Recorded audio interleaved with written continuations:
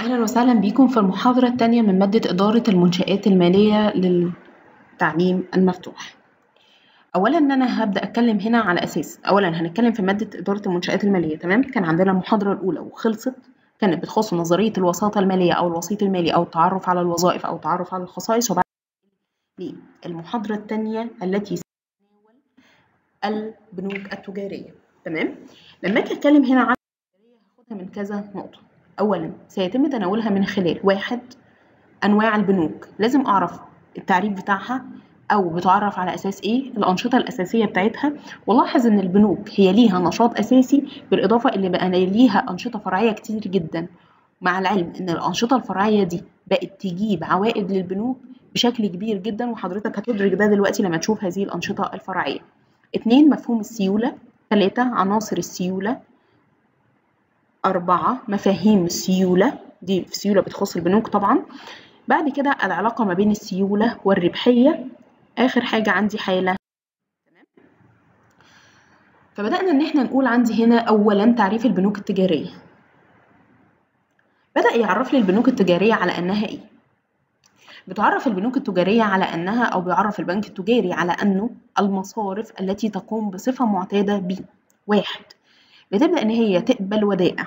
اتنين بتمنح قروض بالإضافة إلى بعض من الخدمات المصرفية الأخرى.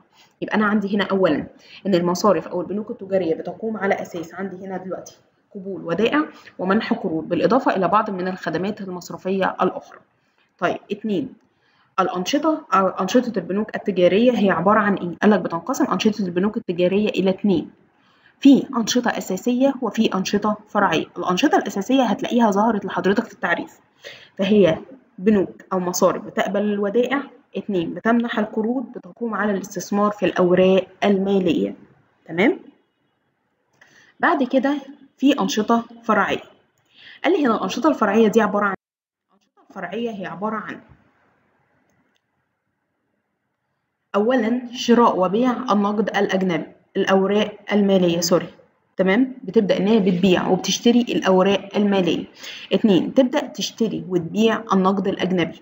تلاتة إصدار بطاقات الائتمان. أربعة تقديم الخدمات الاستشارية والضريبية والمالية. تمام؟ يبقى كده دي الأنشطة الفرعية اللي البنك بيقدر يتدخل فيها بالإضافة إلى وجود بعض من الأنشطة الأساسية اللي إحنا قلنا قبول الودائع ومنح القروض والاستثمار في الأوراق المالية. بعد كده هنبدأ نخش على مفهوم السيولة.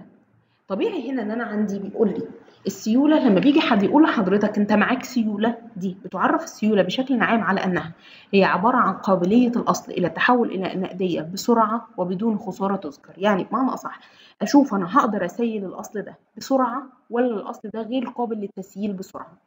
هذا الأصل إذا كان قابل للتسييل بسرعة فأنا أقدر إن أنا أستبدله بالنقود بسرعة وما يخسرنيش يبقى ده الأصل ده سائل.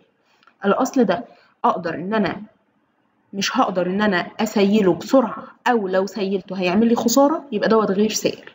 يبقى الأصول السائلة أو السيولة بتعرف على أنها قابلية الأصل إلى التحول إلى نقدية بسرعة وبدون خسارة تذكر. حتى لو هيبقى فيه خسارة بس يبقى فيه خسارة بسيطة يعني. وبذلك بيتضح أن هناك عنصرين بالنسبة للسيولة وهما عبارة عن إيه؟ اولا هتجيبها من التعريف. أن يكون الأصل سهل التحول إلى نقدية أو سهولة تحويل الأصل إلى نقدية. بسرعة.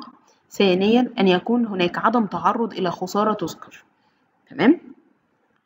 وبالتالي ديت هي السيولة. بعد كده قال لي طب هو ده التعريف الوحيد بالنسبة للسيولة أو بالنسبة للأصول السائلة؟ لا. بيوجد أكتر من تعريف بالنسبة للأصول السائلة وبالتالي هبدأ إن أنا أتعرف على مفاهيم السيولة. ليها ثلاث مفاهيم.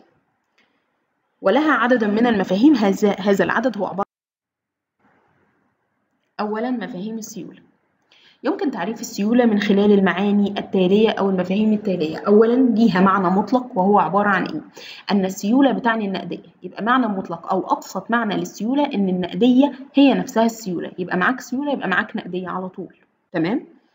بعد كده المعنى الفني هو قابلية الأصل إلى التحول إلى نقدية بسرعة وبدون خسارة تذكر. يعني إن أنا أقدر أحول الأصل ده لنقدية ولكن بدون خسارة تذكر كمان. ده اللي إحنا لسه واخدينه. بعد كده قال لي في معنى نسبي. نسبي يعني في نسبة ما بين شيء وشيء. أو في علاقة ما بين شيء وشيء. فالعلاقة ما بين الشيئين هي عبارة عن إيه؟ العلاقة ما بين النقدية والأصول سهلة التحول إلى نقدية بسرعة وبدون تحمل خسائر وبين التزامات مستحقة الوفاء بها يبقى أولا إما أن تكون بتساوي النقدية وده المعنى المطلق ليها. المعنى الفني قابلية تحول الأصل إلى نقدية بسرعة وبدون خسارة تذكر. المعنى النسبي هو علاقة نسبية ما بين ثلاث حاجات. العلاقة ما بين النقدية والأصول سهلة التحول إلى نقدية بسرعة وبدون خسارة تذكر. وبين التزامات مستحقة ومطلوب الوفاء. بعد كده قال لي هنا العلاقة ما بين السيولة والربحية يعني إيه؟ قال لك العلاقة ما بين السيولة والربحية هناك علاقة عكسية ما بين السيولة والربحية.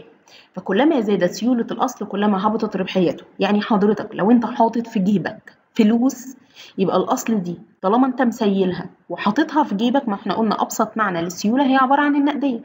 فبالتالي ملهاش ربح لأنك مش هتدخلها في مشروع. بينما لو فقدت ركن السيولة فيها فبالتالي بقت مشروع يبقى زاد الربح. يبقى العلاقة ما بين السيولة والربحية هي عبارة عن علاقة عكسية فكلما زادت سيولة الأصل ده بتهبط ربحيته. حتى تنعدم الربحية بالنسبة لأوراق النقد يعني كل ما أقول لك إن أنا في اتجاه إن أنا أحول فلوسي دي إلى نقود أو إن أنا أحول الأصول بتاعتي دي إلى نقود يبقى حضرتك بتعتبر إن ربحيتها بتساوي زيرو حتى تنعدم الربحية بالنسبة لأوراق النقد باعتبارها أكثر الأصول سيولة وعلى العكس بتزيد قدرة الأصل المصرفي على جلب العائد كلما قلت درجة السيولة بتاعته. يعني العائد بتاعه بيبقى أكتر أو الربح بتاعه بيبقى أكتر أو آه عوائده ليا بتبقى أكتر إذا قلت سيولته يبقى في علاقة عكسية ما بين السيولة والربحية. قال لك بيتم دراسة السيولة من خلال واحد نسبة الاحتياطي القانوني اتنين نسبة السيولة القانونية. دي نسب بيحددها البنك. عشان يقول لك هو لازم يحتفظ باحتياطي نقدي قد إيه قانونا يعني يبقى قد إيه عنده وبيعاقب في حالة عدم وصوله أو عدم قدرته على وجود هذا الاحتياطي. ونسبة السيولة القانونية المفروض تبقى عنده قد إيه علشان يحافظ على هذه النسبة وبيعاقب في حالة عدم قدرته على الوصول. وبالتالي كده آه انتهت المحاضرة الثانية وإن شاء الله هنبدأ الحالة العملية في المحاضرة شكرا. كان معاكم دكتور سميرة علام